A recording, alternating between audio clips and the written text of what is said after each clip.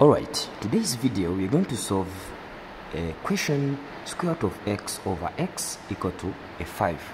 Okay? Then solution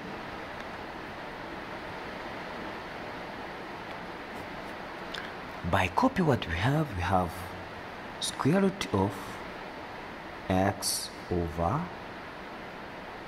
x equal to a 5 okay now we know that when we have square root we mean that we have x power 1 over a 2 okay?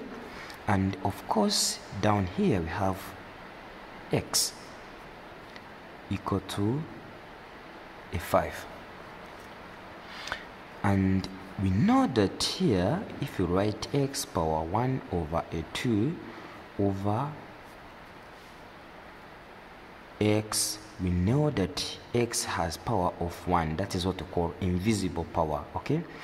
Then equal to a 5 okay?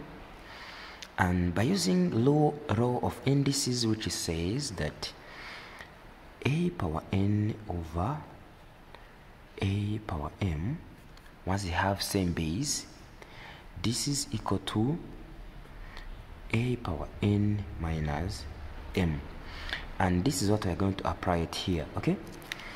Then we shall say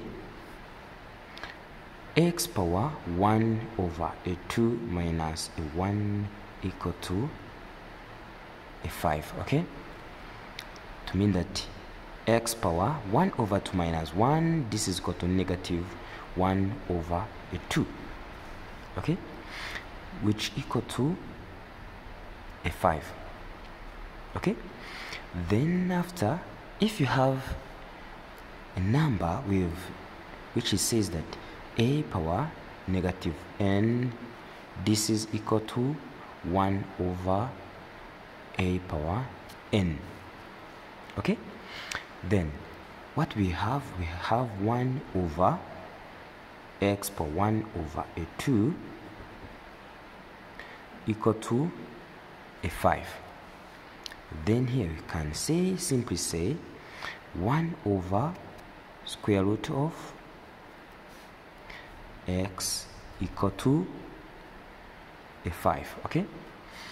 Now here by cross multiplication 1 equal to square root of x then times a 5 okay? Or we can simply write 1 equal to 5 square root of x okay? Then next we, we shall square them to get 1 equal to 25x okay? By